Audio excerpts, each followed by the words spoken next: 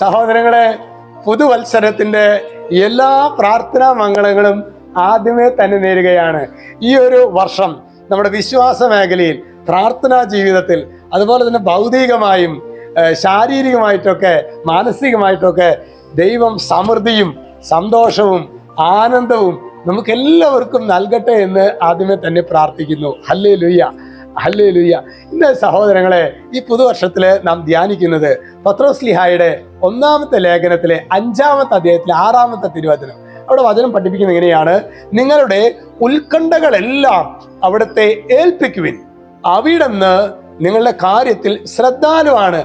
അപ്പോൾ പുതുവർഷത്തിലേക്ക് നമ്മൾ പ്രവേശിക്കുമ്പോൾ എന്തെല്ലാം ഭാരങ്ങളും ആകുലതകളും ചിലരെ സംബന്ധിച്ച് കുടുംബത്തെ സംബന്ധിച്ച് അല്ലെങ്കിൽ വ്യക്തി ജീവിതത്തിലെ ചില ഇഷ്യൂസുമായിട്ട് ബന്ധപ്പെട്ട് രോഗപീഠകൾ സാമ്പത്തിക തകർച്ച മക്കളുടെ ജീവിത ജീവിതത്തിലെ പ്രയാസങ്ങൾ അങ്ങനെ പല കാര്യങ്ങളുണ്ടായ സഹോദരങ്ങളെ പക്ഷെ കണ്ണടച്ച് നമ്മൾ വിശ്വസിക്കുകയാണ് എന്റെ യേശു ഞാൻ അഭിമുഖീകരിക്കുന്ന ഈ പ്രശ്നത്തെക്കാളൊക്കെ വലിയവനാണ് എന്റെ യേശു.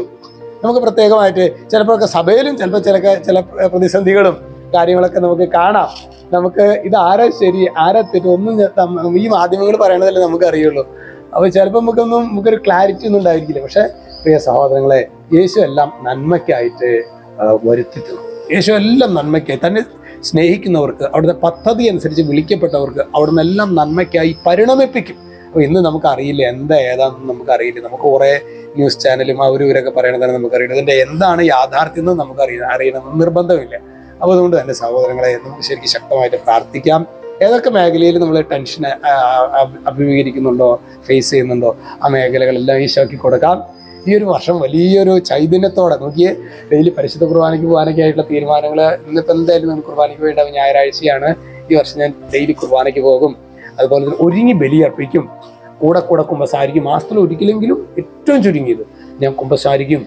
ഒരു ഇരുപത് മിനിറ്റെങ്കിലും വചനം വായിക്കും. അങ്ങനെ നല്ല പുത്തൻ തീരുമാനങ്ങൾ എടുത്ത് അത് പ്രാവർത്തികമാക്കി ഇന്ന് തന്നെ പ്രാവർത്തികമാക്കണം എന്നിട്ട് വേണം നമ്മൾ മുന്നോട്ട് പോകാനായിട്ട്. ഈശോ നിങ്ങൾ എല്ലാവരെയും അനുഗ്രഹിക്കട്ടെ. രക്ഷിതാവായ യേശു ക്രിസ്തുവിന്റെ നാമത്തിൽ ആശീർവദിക്കുന്നു. ഇപ്പോഴും എപ്പോഴും എന്നേക്കും. ആമേ